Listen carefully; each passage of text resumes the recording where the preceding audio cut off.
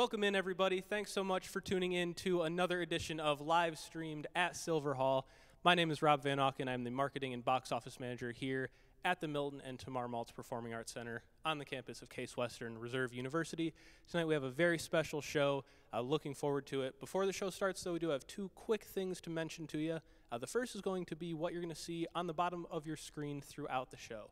Uh, throughout the show, you will see the lower third of your screen pop up with information uh, about Piano Cleveland uh, and about some of the uh, songs that are being performed. Um, part of the information that is going to pop up is information about how to donate to Piano Cleveland. Uh, if you are able to, please do consider donating. $1, $2, $5, anything helps these performers and these organizations that have been without shows for close to six months. Uh, again, if you are able to, please do consider donating. We're also going to ask that you help out the Maltz Center. All you need to do to help us out is uh, go to our website and sign up for our so email blasts, case.edu slash Maltz Center. Right on the front page there, uh, we send out one email a week. It's information about this series and information about other shows that we have going on. Uh, again, that is case.edu slash Maltz Center. You can also find us on Facebook, Twitter, and Instagram at Maltz Center. Thanks again so much for tuning in tonight. And now, before the show starts, we do have a quick message from Yaron from Piano Cleveland. Good evening, everybody. I'm so happy to be here. We're so happy to be here. My name is Yaron Kohlberg, and I'm president of Piano Cleveland. Maybe many of you know us as the presenters of the Cleveland International Piano Competition. The Cleveland International Piano Competition is one of the major piano competitions in America, which we're holding once every few years. Of course, for us, this has been very challenging also. We had to postpone our big competition from this summer to 2021. Instead of that, we put together an online competition called Virtualoso, which just finished last month. And we managed to raise $75,000 thanks to you and thanks to the uh, audiences here in Cleveland, nationally and internationally. We presented 30 incredible pianists uh, from around the world. Now we're also presenting different, uh, different concerts and different events, and we're so happy to be here today at the Maltz Performing Arts Center and to present our wonderful and great friend, Carolina Oltmanns, this wonderful pianist who's uh, has been a friend of ours for a long time. Uh, Carolina also served on the jury, on the preliminary jury of the Cleveland International Piano Competition. She performs nationally and internationally. She also teaches uh, nationally and internationally, including online now in the days of COVID. So I'm sure you are going to enjoy Carolina's performance, and thank you very much for having us. Ladies and gentlemen, it gives me great pleasure to present an evening of classical piano pieces for you today from beautiful Silver Hall here at the Maltz Performing Arts Center in Cleveland, Ohio.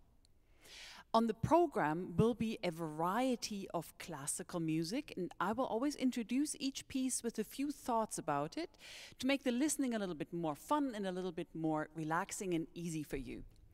First, piece on the program is by Franz Schubert, the Viennese composer Franz Schubert. It is a Klavierstück in E flat minor. Now, Klavierstück really is just an impromptu, a little invention right there and then. And um, Schubert does in this Klavierstück what he loves doing in many of his pieces. He plays with the major and minor modes. Now, this major and minor, usually we say major is reserved for happy events, outgoing things, fun. Minor events may be more introverted, a little bit more pensive, maybe a little sad. Now, usually you would think happy occasions are expressed in the major mode and um, sadder things in minor, but actually Schubert turns these two modes around a lot because his point of view is really that he expresses in his major mode the happiness of other people, the unobtainable happiness of other people. Whilst the minor mode in Schubert is really something that he feels like is his life, it's like an old shoe. It might not be beautiful, but it fits, and he has kind of resigned into that. Now, you might ask, how do I know all of that? You see, Franz Schubert set many songs to music, and he picked poetry, and every time there is a turn, you can tell how the colors work with the text. For example, a gorgeous song cycle called Die Winterreise, a winter's journey, where Schubert depicts a single wanderer, as he calls him, the protagonist walking through a little village. And there he looks through the window panes of the families at dinner, sitting together, comfortable, enjoying each other's company in the warmth. While here he is all by himself outside, lonely and not really fitting and you see, he sets the major for the family and the minor for himself. But the minor is quite happy, you will see. And it's the same thing in my piece. The minor mode is not necessarily, necessarily pardon me, so sad. And the major mode is rather contemplative. So let's have a listen together at Franz Schubert Klavierstück in E flat minor and I hope you enjoy that mixing and matching of those two, the happy and the sad modes of classical music.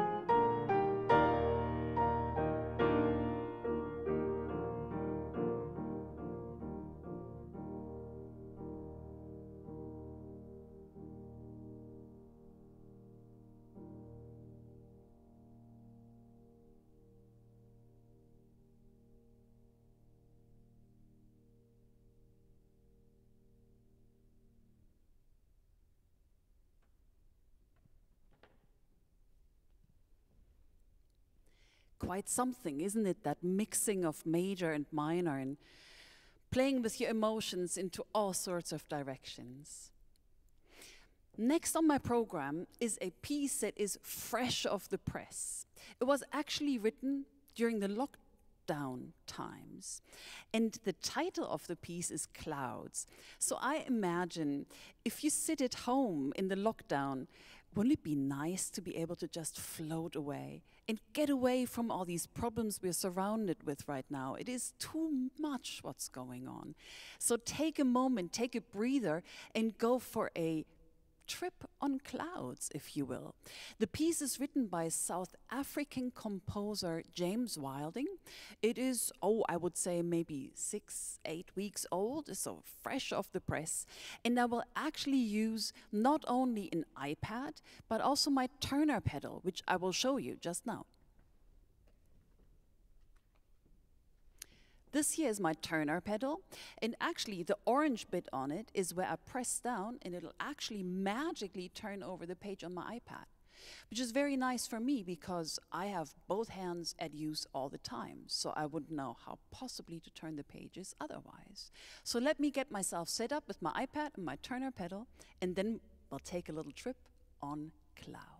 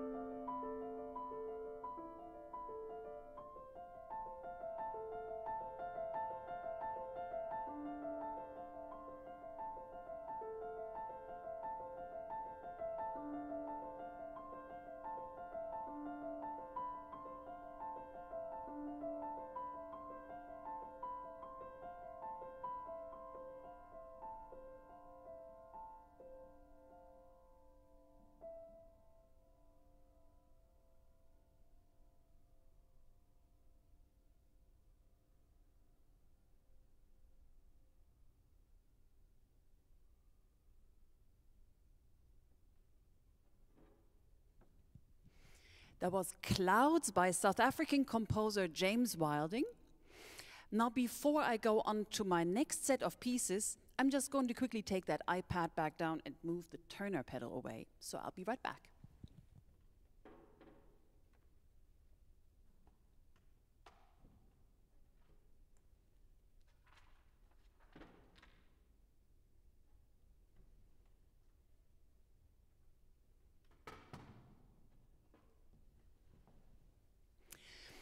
Next on the program are three preludes by French composer Claude Debussy. And I'd like to play them in a row and introduce you right off the bat to all three pieces. The first piece on the program uh, is called Feux d'artifice, which means fireworks. And these were fireworks during Claude Debussy's time, so not as splendid as they are now, but certainly as exciting to the people of the time. So you hear the crackling of the fire and some things going up in the air, and it's quite loud, as a matter of fact. But then at the very end, it becomes quiet, and you'll hear this little tune.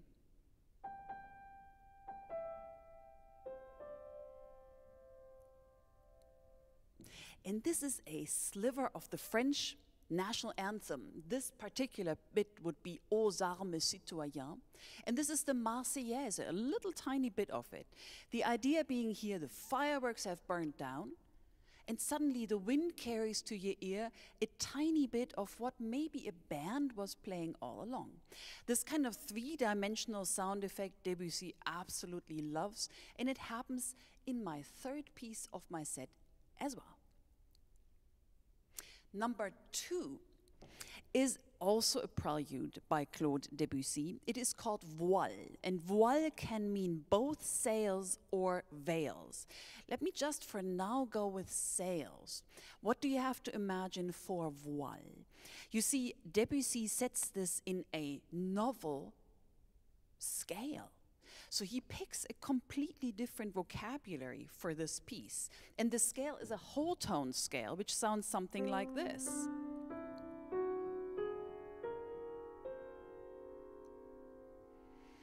Now you see our Western scale is a mix of minor and major steps, of smaller and bigger steps. And with that, we always know where home base is. But this, as the name says, is a whole tone scale. So it's all whole tones on our keys here. And with that, we have no idea where we are. So it's sort of free floating that way. This piece is written like a Picasso painting would be painted, sharply edged and very abstract in that whole tone scale system. Another thing I'd like to point to you is these low notes, which Debussy uses throughout to depict the ocean depth so here are the sails in the middle of the piece, in the middle range, that low ocean, and then on top is scintillating light, maybe just a bright sky or maybe the sun itself. So that's voile, the second piece. And the third one is called Ce qu'a vu le vent de l'ouest, which means what the west wind saw. Now, that's a prelude as well. What the West Wind Saw. What a funny title, isn't it? Because if you look at the map of France, you will see that on the west, I always have to say on the left, I, I, so to the left on the map, there's really just the open ocean. That's the Atlantic Ocean right there. So if we are listening to what the West Wind saw, doesn't that mean stories that were happening on the open ocean? And that's exactly what I think it is. So these are battles, these are refugees, these are people who tried to make it to America. Some made it, others didn't. So there is a lot of pain and suffering and tumult in this piece. And at the end, much like in Feux again, when all the waves have settled down and we have a moment to think. Debussy brings to our ears the strumming or drumming of sounds, maybe somebody playing music on a ship very far away, and we hear it over the ocean there. So, those are the three preludes by Claude Debussy I'd like to share with you tonight. The first one is called Feux d'artifice, which means fireworks. Number two is voile, sails, those sharply edged sails. And then the last one is ce qu'a vu le vent de l'ouest, which means what the west wind saw. I hope you enjoy.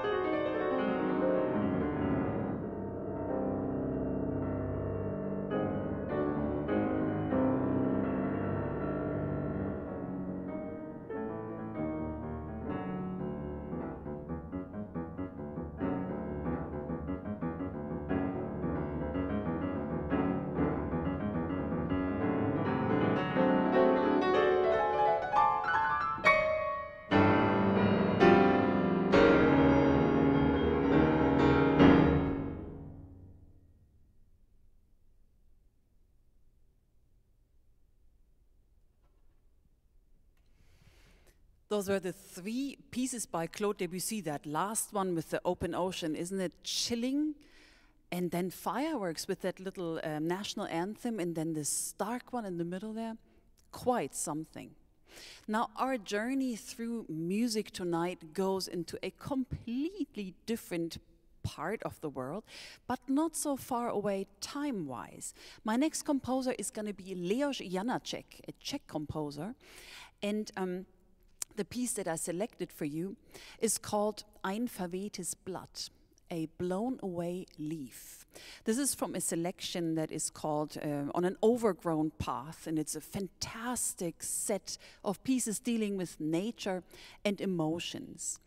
Now, Janáček's music is used frequently as a um, background movie score, if you will, for movies that are set in in Prague.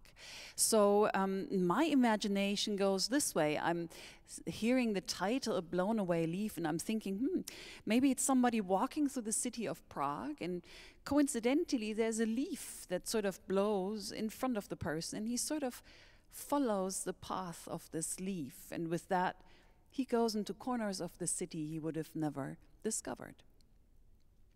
So here it is a Blown Away Leaf by Leos Janáček from the cycle On an Overgrown Path. I hope you enjoy.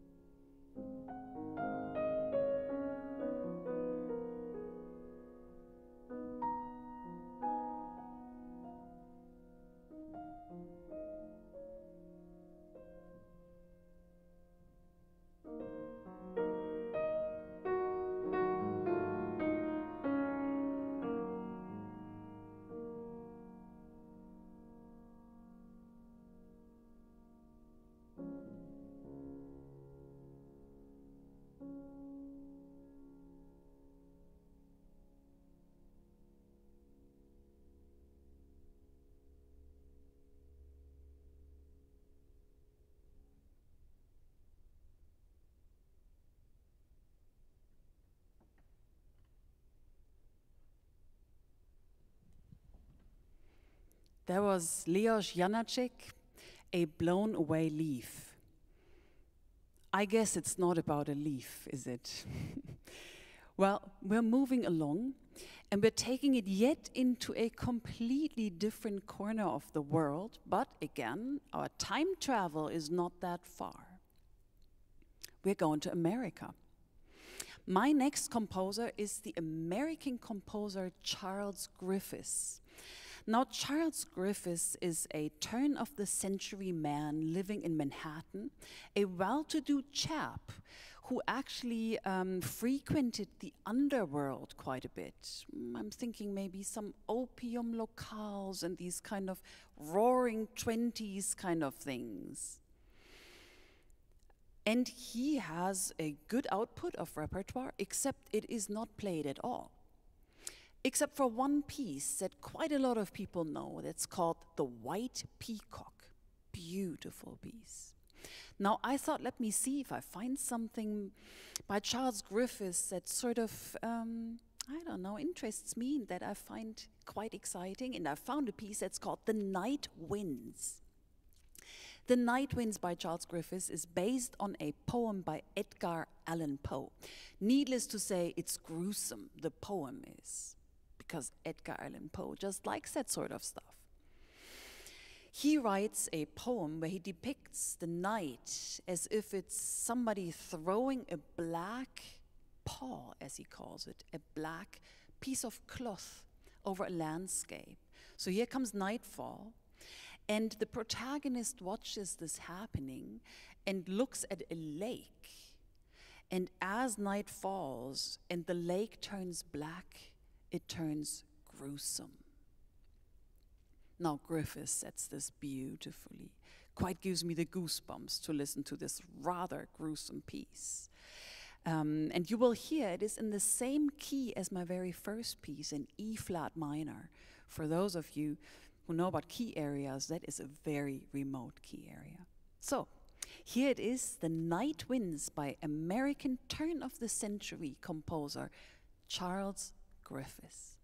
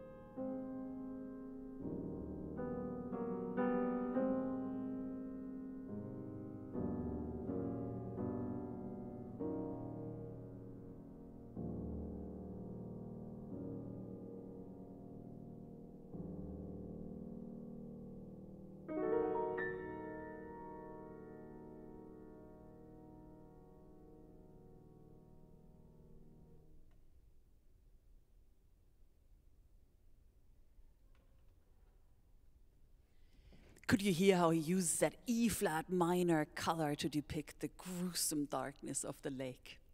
Quite a discovery, I find. My next piece is also by an American composer. Now, this is George Crumb, who was born in 1929. And for this, I will actually need two glass tumblers. Not to worry, they're not filled with water. But I have to place those empty glasses right into the piano, and I actually also have to sing. So, what I'm going to do for you is I'm actually, with my voice, going to imitate the Indian tambura, which is an Indian instrument. I listened to some YouTube videos to see how my voice could best imitate the tambura, but George Crumb gives very specific ideas on how to do it. He says to pronounce the different vowels that he notates, like French, as in vin or bon, so it's a nasal sound he asks the performer to make. So let me get myself set up. The piece is called Ghost Nocturne for the Druids of Stonehenge. And as I said, I will need those two glass tumblers. So let me get these, let myself get ready for this piece, and then I hope you enjoy this very experimental piece by George Crumb, The Ghost Nocturne for the Druids of Stonehenge.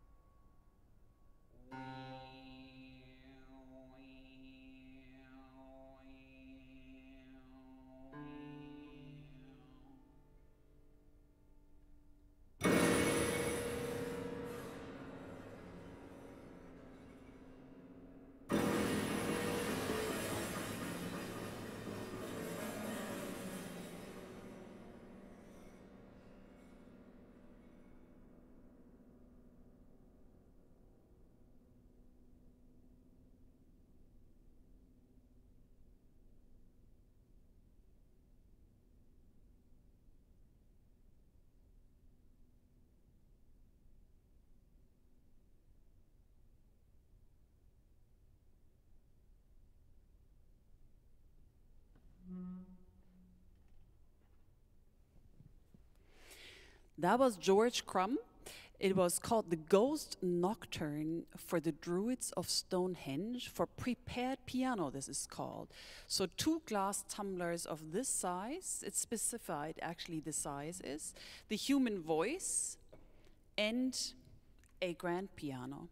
So, let me just quickly unprepare my piano again.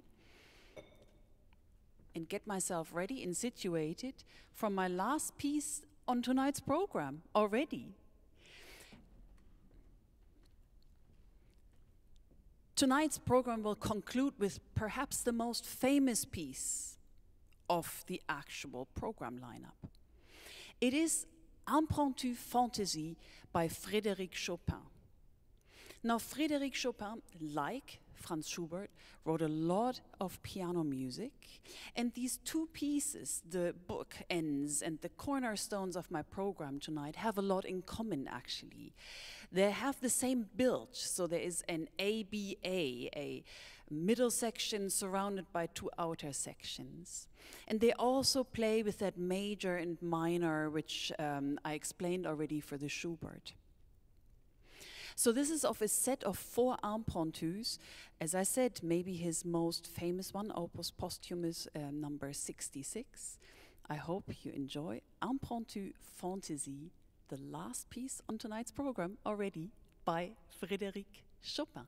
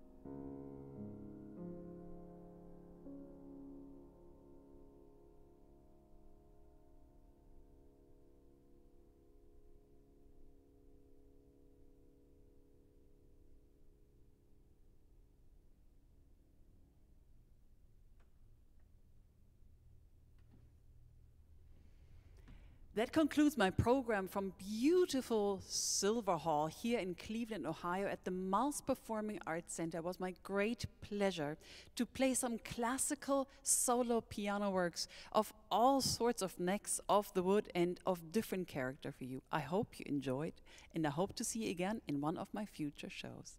Good night. What a great show. Thank you so much. That was beautiful very eerie being in here by myself listening to this for a little while. No, I had at least one audience. Thank you so much. Thanks so much for tuning in, everybody. We will see you again Sunday night, 8 p.m., right here at Silver Hall. Diana Chichester is going to be here live, 8 p.m. Sunday, case.edu slash Maltz Center. We will see you then. Have a good night.